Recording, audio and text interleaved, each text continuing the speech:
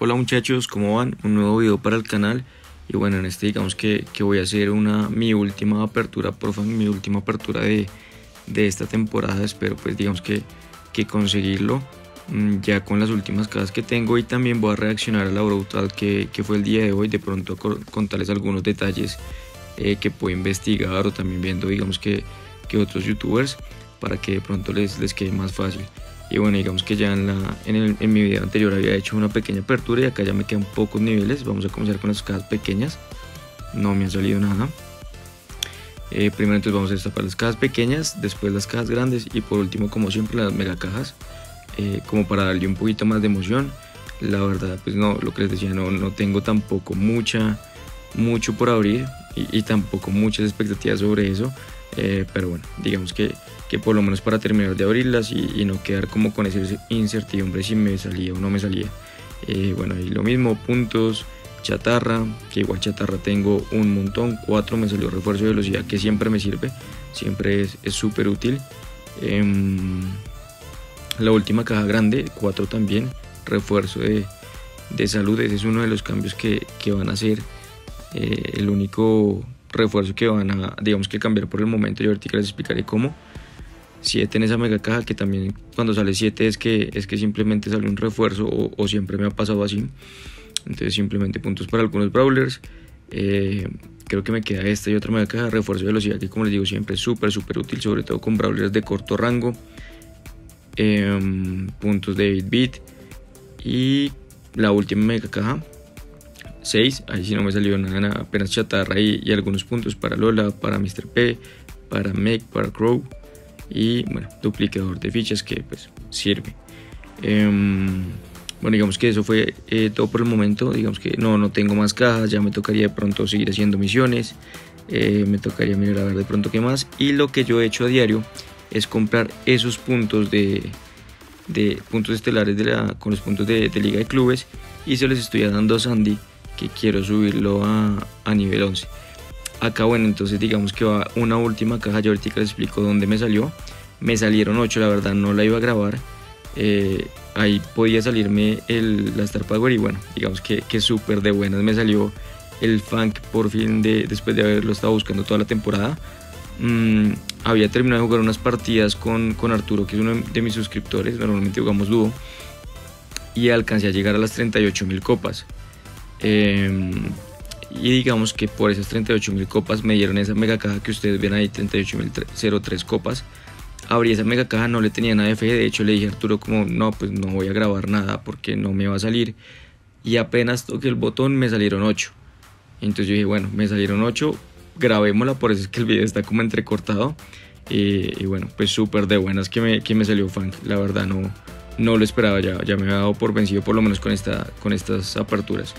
Eh, ahí lo que estoy haciendo simplemente es subirlo hasta el máximo, gasté los puntos eh, que tenía en él, me quedo por lo menos en nivel 7 y, le creo la apertura para, para su gato. Y bueno, aquí ya comenzamos con la Brutal. Eh, es un nuevo, digamos que, que, una nueva ambientación, se llama Biodomo creo. Esa es la nueva Brawler y que es lo interesante de ella. Bueno, lanza tres proyectiles que son los huevos.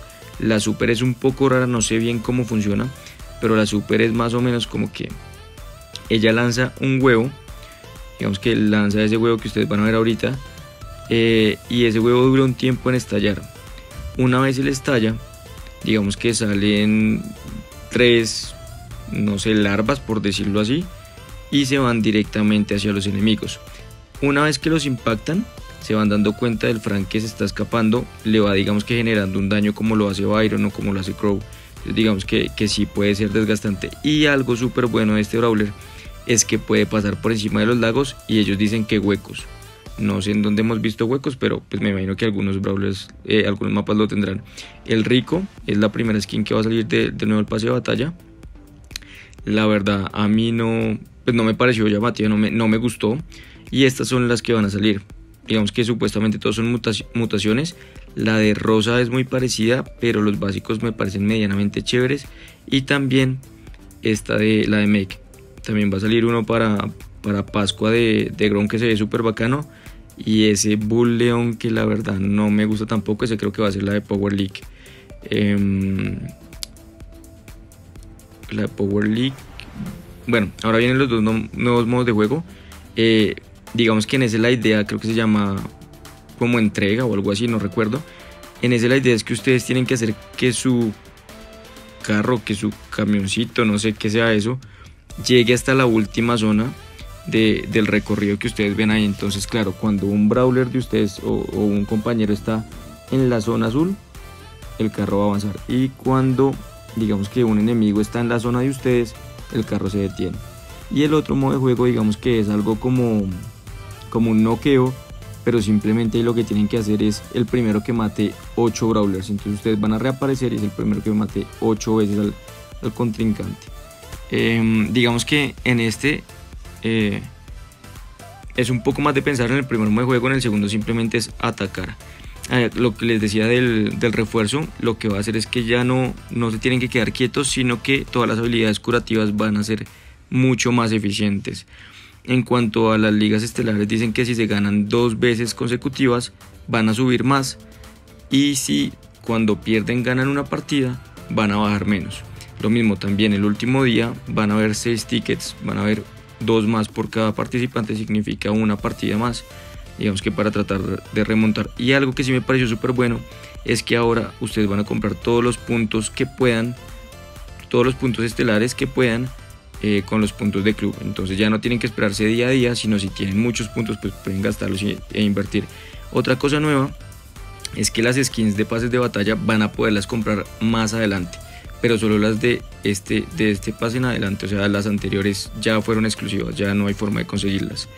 Mm, bueno, también dicen que, viene otra vez el, campeonato. Me imagino que ya pues algunos jugaron las trataron de jugar las 15 partidas, la verdad es súper complicado, hay, muchos equipos muy buenos y nos dicen que van a dar pines cuando vaya a haber finales, entonces nos, dicen que tenemos que meternos a esa página y me imagino que va a ser muy similar a lo de Jesse, pero pues tal vez más fácil, simplemente creo que hay que entrar, reaccionar al, al y ya reclamar el pin.